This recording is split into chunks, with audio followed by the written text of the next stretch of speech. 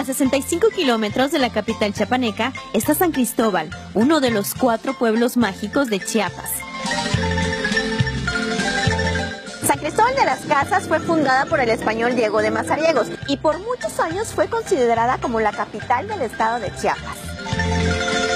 El principal atractivo es su centro, donde puedes caminar por las calles empedradas, admirar sus andadores y su catedral, construida en los años 1500. Sin duda, una ciudad colonial.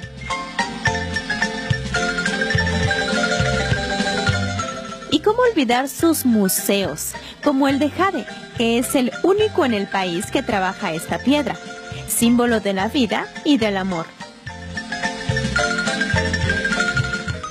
Basta caminar por sus andadores para darte cuenta de lo hermoso que es.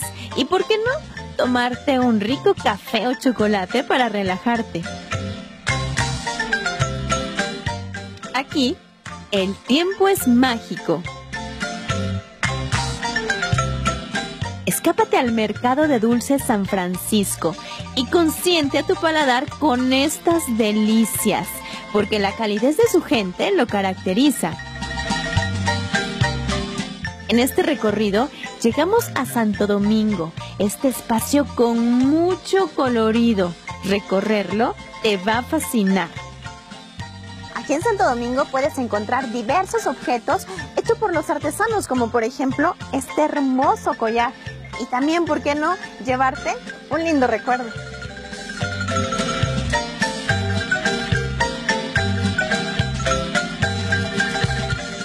Pero si buscas algo rodeado de naturaleza, San Cristóbal tiene muchos rincones que te encantarán, como Rancho Nuevo, donde puedes montar a caballo, aventarte en la famosa tirolesa o subirte a la larga resbaladilla.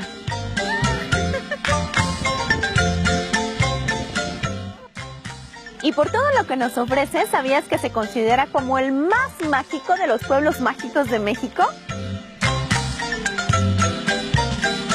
En la actualidad es una ciudad cosmopolita porque hay gente de todas partes y es considerada como la capital intercultural de Chiapas porque cada detalle te robará el corazón. Así que no dejes de visitar este increíble lugar. Con imágenes de Andrés Blanco, Carolina Loranca, Noticieros Televisa.